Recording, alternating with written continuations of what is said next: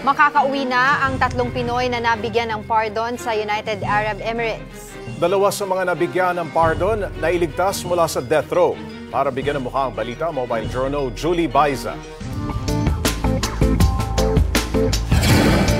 Isang buwan o higit pa ang hihintayin bago makauwi ng bansa ang tatlong Filipino convict na nabigyan ng pardon sa United Arab Emirates. Kasunod yan na naging apela ng pamahalaan kay UAE President Sheikh Mohammed bin Zayed Al Nahyan na humanitarian pardon para sa tatlong OFW. Ayon sa Department of Foreign Affairs, kailangan pang ayusin ang papeles at kaso ng mga ito. Wala po tayong definite time frame but we're hoping in the next uh, month or so uh, aayusin na yung kanilang mga papeles at na makauwi na, uh, even less than that. Uh, again, uh, marami naman naman tayo mga kababayan ang napardon na sa UAE uh, in the past and uh, usually it takes about uh, a month or even less bago sila mapauwi talaga dito sa Pilipinas. Dalawa sa mga nabigyan ng pardon ang nailigtas mula sa death row drug trafficking ang kinaharap nilang kaso. Nasintensyahan niya sila ng pagka ng, ng death dahil alam niyo naman ho sa UAE uh, society medyo strict ho sila when it comes to drugs. Uh, medyo matagal-tagal na rin sila nasa pihitan.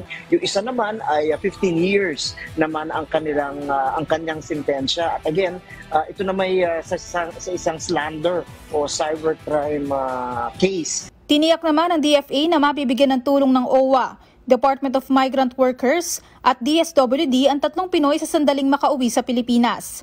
Sa kasalukuyan, marami-rami pa ang Pinoy na nakapiit sa UAE. Na various cases, yung iba ho drugs, yung iba prostitution, yung iba theft, uh, some murder naman, at uh, lahat po yung mga kababayan natin na pag binibigyan natin ng uh, legal assistance to make sure na yung mga karapatan nila for due process is considered.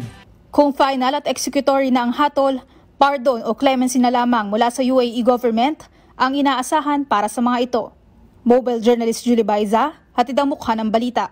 Gusto mo bang lagi kang updated sa mga balita? Aba, ay simple lang. Mag-subscribe ka na dito sa 1PH. I-click mo lang ang subscribe button at notification bell para hindi ka nahuhuli sa mga balitang dapat mong malaman.